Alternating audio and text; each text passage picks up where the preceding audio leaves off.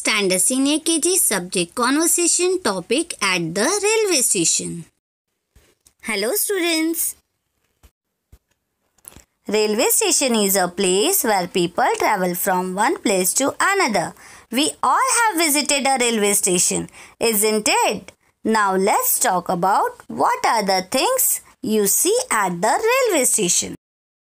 Now children, look at this picture. Indicator. Train schedules are put on the indicator. Track. The train runs on the track. Motorman. The motorman is the one who drives the train. Train. A huge vehicle with many boxes that can accommodate many people at a time. Flag. The station master uses the flag to show different signals to the motorman. Station master, the one who takes care of the railway station. Food stall. At the food stall, various snacks are sold. Book stall. There are various books sold at the bookstall. Luggage.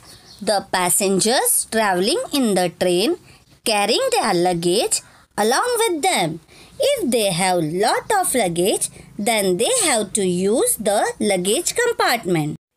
Porter, the one who helps you carry the luggage at the station. Loudspeaker, the loudspeaker keeps you alert about the train arrivals.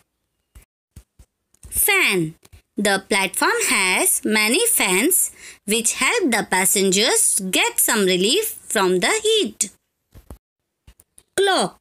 The clock at the station shows accurate time about the arrival and departure of the trains. Stairs. The staircase helps you to go from one platform to the other. Platform Platform is a place where people stand to get in or get out of the train. Ticket checker. The ticket checker, also called as the TC, checks the tickets of the passengers traveling. Bench.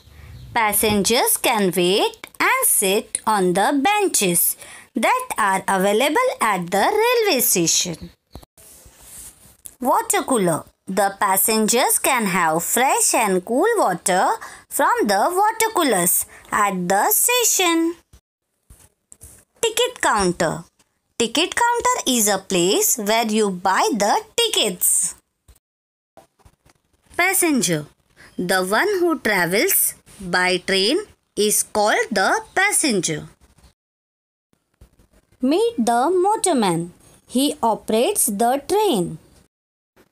Meet the station clerk. He sells tickets at the station.